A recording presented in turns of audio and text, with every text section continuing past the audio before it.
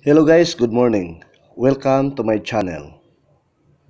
Ngayong araw ipakita ko sa inyo ang napakabisik na installation of printer na kung saan ituturo ko sa inyo kung paano mag-download ng driver nito hanggang mag-install.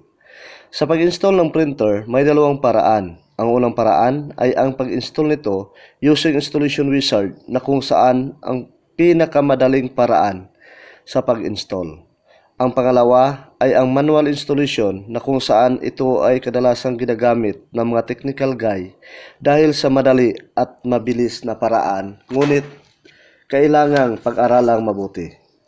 Pagkatapos ng video ito, pwede ka nang mag-download and install ng inyong sariling printer driver. Actually guys, ginawa, ko tong topic na to for preparation sa susunod kong topic na kung saan ituturo ko sa inyo kung paano mag-maintenance ng inyong printer using software nito. Ready na ba kayo? Kung ready na, let's start. Sa pag-install ng printer, kailangan natin na i-download muna ang driver nito. So, ang gagawin natin, punta tayo ng google.com tapos, uh, search natin yung pangalan ng printer na kung saan yung gusto natin na i-install. Sa akin, uh, ginagamit na uh, ginagamit kong printer is Epson Epson L120 driver. Okay. Tapos, i-click lang natin siya. Okay. So, nasa Epson L120 na tayo na na na series, uh, click natin yung downloads. Select natin yung Windows 7 64-bit detected. So, automatic na si Epson na mismo yung nag-detect ng ating operating system uh, na kung saan Windows 7 64-bit yung ginagamit nating uh, operating system. So, click natin. Tapos, natin yung drivers. Select natin yung drivers. Tapos, printer drivers for Win 64-bit. So, gawin natin, i-click lang natin yung download. Tapos, uh, yula ng Epson, uh, Epson Software License Agreement niya, uh, dito, i-click natin yung accept para mag-proceed tayo sa download downloading. So, okay. So, kung nakita natin, uh, nag-download na siya, Ayan. So kung tingnan natin guys, okay na yung uh, yung download natin, uh, bali natapos na siya. So ang gagawin natin, uh, puntahan natin yung download file. So punta tayo ng show in folder, click natin 'to. Tapos makita natin na uh, may na uh, may na-download na tayong L120 uh, x64. So ibig sabihin, uh, uh, Epson L120 na 64-bit installer siya. So, ang gagawin natin, right-click natin siya, uh, tapos click natin yung open. Tapos, run. Check lang natin yung set as default. So, after niya ma-install, automatic siya na i-set as default niya yung printer. Tapos, language, uh, i-select natin, uh, English lang.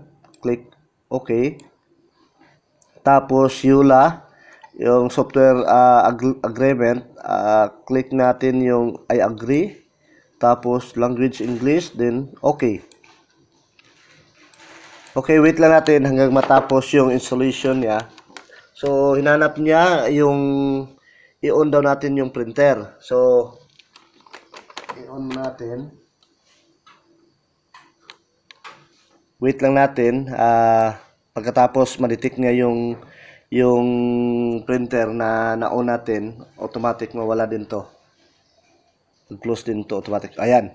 So kung kung tingnan natin, uh, na-close na yung yung message kanina ni Epson. Uh, bali ang ginawa niya, uh, nag-message ulit ng printer driver installation and port configuration were completed successful, successfully. So okay na siya. Bali yung driver niya is installed na siya sa system natin. Okay, click natin OK. Ayun, puntahan natin doon sa device and printers yung sinabi ko kanina na dapat nandito na yung yung Epson L120 na naka-install na siya. Bali, naka-check na siya or set as default. Okay, click natin. So kung tingnan natin, meron ng Epson L120 series, then naka-check na siya. So kung ibig sabihin nun, bali installed na siya sa computer ko. So ang gagawin natin, ah i-try lang natin na i mag-print kung kung okay na siya, kung maka-print na tayo. Sa pag print, ah yung gagamitin mo natin is yung print test page. So right click natin yung printer, tapos printer properties, tapos click natin yung print test page. Okay. So a test page has been sent to your printer. So dapat mag-print na siya.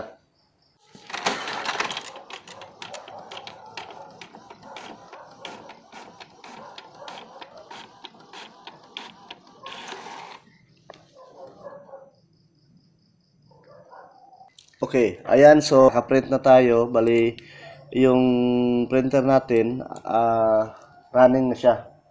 So hanggang dito na lang guys. Kung nagustuhan yung video na to, ah, please subscribe, like, comment, and click the bell button para ma-notify kayo sa mga bagong video na i-upload ko. Maraming salamat and God bless.